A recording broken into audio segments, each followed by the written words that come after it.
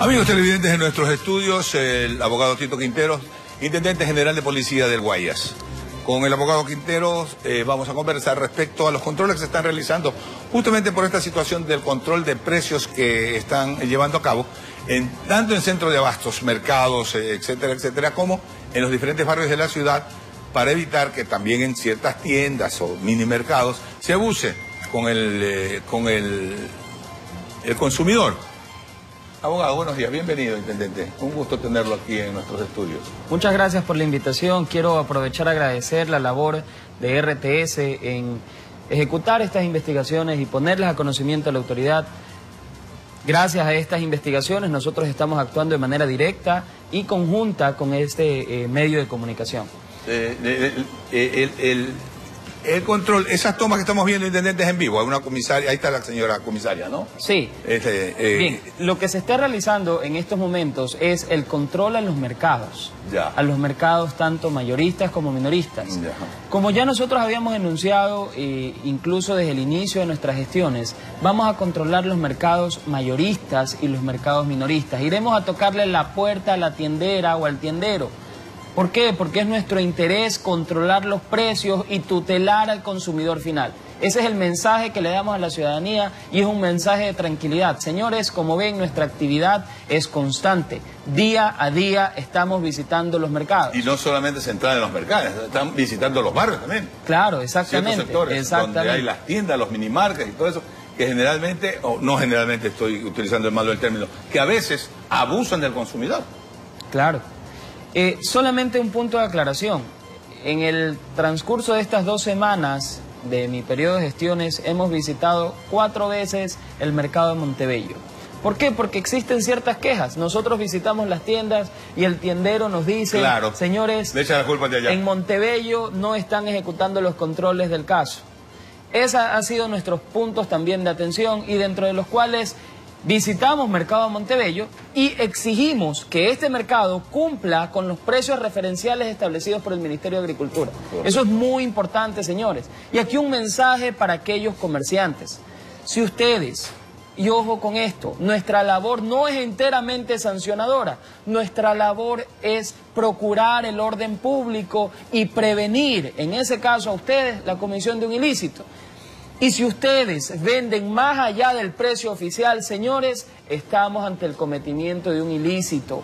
Un ilícito que nosotros como ente de control sabremos poner a conocimiento de la autoridad competente Y sancionar de acuerdo con la ley, lo que la ley determina. y sancionar corre- Ahora, hay un la ley. problema ahí, intendente, que es la cadena de intermediación, que es de donde aparentemente se podría producir esta alteración.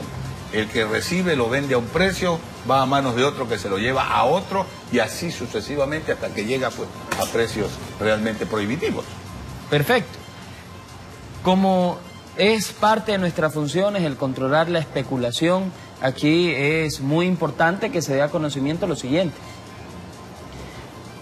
Estamos visitando las tiendas y en esta visita a las tiendas controlamos el valor promedio de los productos. Correcto. No hay una lista para aquel comerciante minorista, para que él deba sujetarse. Eso lo tenemos claro. Y partimos de un principio de libre comercialización. Hasta ahí La oferta y la demanda. Exactamente. Pero aquí también estamos en base a una premisa.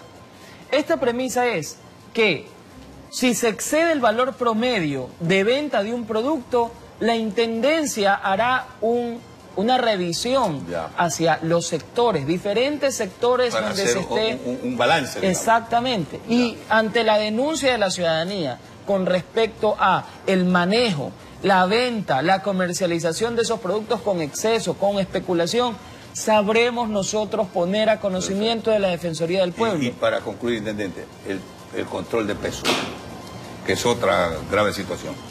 Hemos decomisado en el transcurso de estas gestiones cerca de unas 20 balanzas por estar descalibradas.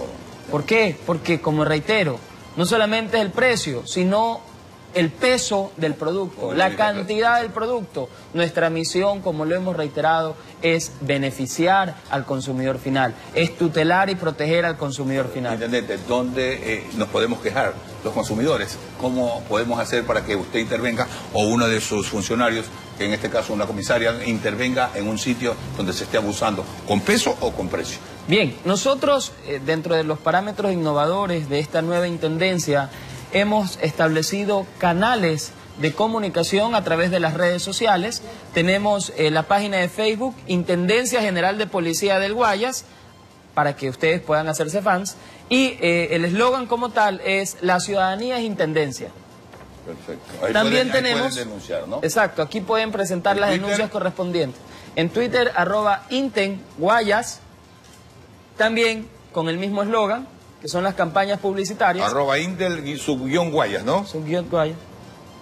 Eh, Intendencia del Guayas, también un canal de YouTube para que ustedes Perfecto. puedan realizar las denuncias del caso. Y así como estamos atendiendo la denuncia de este medio de comunicación, sabremos atender las denuncias de toda la ciudadanía.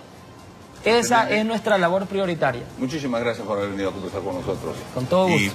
me imagino continuarán en este trabajo que están Continuaremos operativos constantes, intensos y estaremos al pie y al servicio de la comunidad. Gracias, Intendente, por haber Gracias venido a conversar con nosotros, el Intendente General de Policía de Guayas, abogado Tito Quintero, aquí en estudios de RTS, en la noticia en la comunidad.